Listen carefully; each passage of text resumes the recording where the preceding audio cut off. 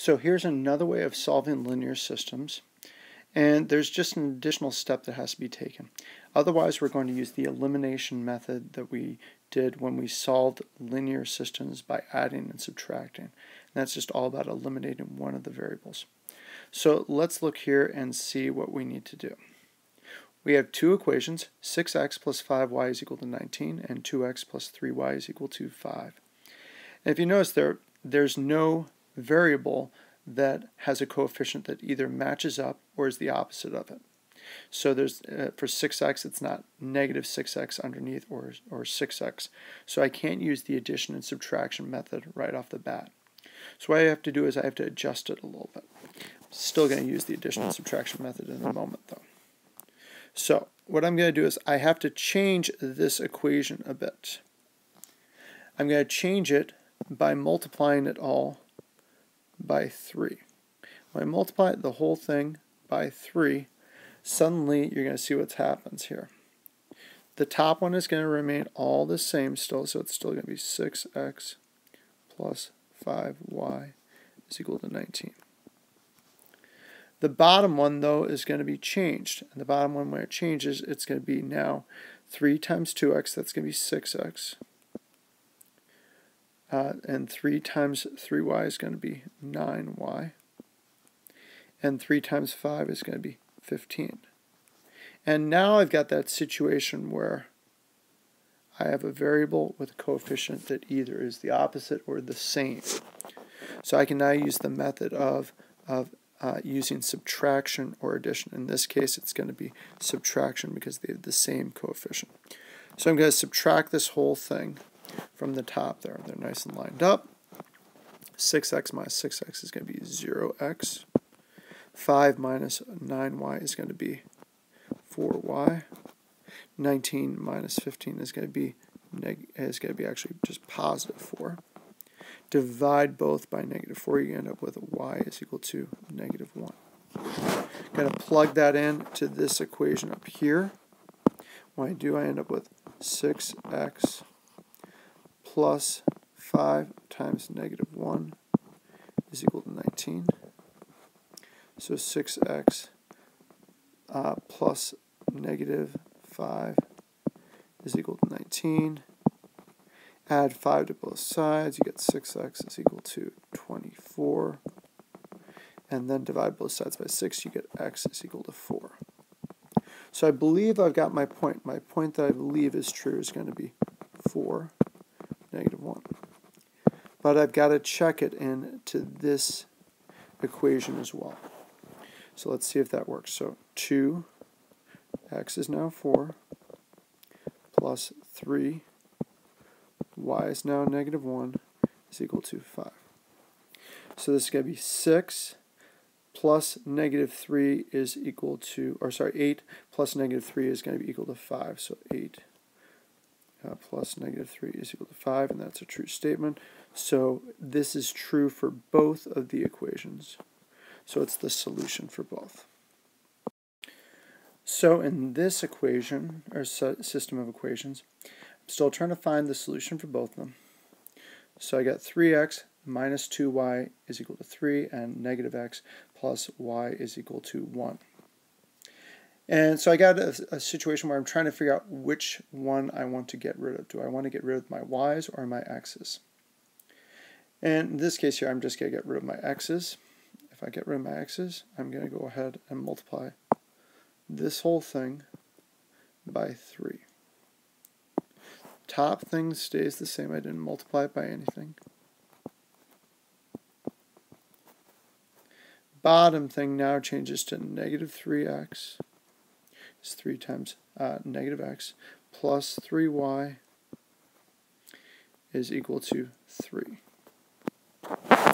Okay, so great. Now I'm just going to solve this quickly.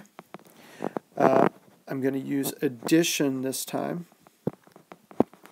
Add these two together because my 3 and my negative 3 uh, cancel each other out. And what I'm just left with is I'm left with y is equal to 6 plug that into the additional uh, into the other equation, you're going to get your answer, or the first equation here, 3x minus 2 times 6, I'm plugging it into this one here, is equal to 3. 3x minus 12 is equal to 3. 3x is equal to uh, 15. So x is going to be equal to 5. So that's going to be my point. My point is going to be 5, 6. Plug it into this point right here, or this one right here. It's going to be negative 5 plus 6, because neg uh, 5, negative 5, then 6 for that is equal to 1. That's true for both of them. So that is going to be our solution. So once you get to setting it up, then you just have to maneuver it, um, set it up by multiplying it out. You then can go ahead and use the addition subtraction method. So this will be the last example. And in this case here, there's nothing that matches up really quickly because I can't multiply one of the equations and have, um, if I multiplied 9 by anything, I wouldn't end up with 6, and if I multiplied 2 by anything, I wouldn't end up with 13, and the reverse is true also. So what I need to do is I actually need to multiply both equations by something, so I end up having something that will cancel out. So what I mean by that is this, is if I take this top equation, let's say I decide I want to get rid of my y values. What I'm going to multiply the top thing by is I'm going to multiply the top thing by 13. I'm doing that because if I multiply it by 13, you're going to end up seeing what will happen. So that's the top when I multiply every, every term of it by 13. The bottom, what I'm going to do is I'm going to multiply the bottom by 2.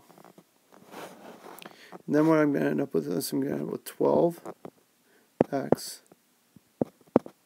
plus 26y is equal to negative 18. And then I've got my matching term here that I can then subtract out. So let's see what we're going to do here.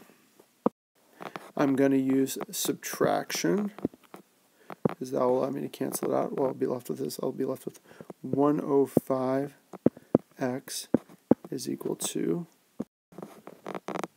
525. Um, and then I'm going to divide both sides by 105, and x will be then equal to 5. I can then plug that into either of the two equations up there. If I plug it in, it's going to be 9 times 5 plus 2y is equal to 39. 45 plus 2y is equal to 39. Subtract 45 on both sides. 2y is equal to negative 6. y is going to be equal to negative 3. So I believe my point is going to be 5, negative 3. So now I just got to plug it into the second equation here and see if I'm right. 6 times 5 for that plus 13 times negative 3 for that is equal to negative 9. So 30 plus negative 39 is equal to negative 9. That's true. So for both of them, it's true, so that's my answer, and I'm done.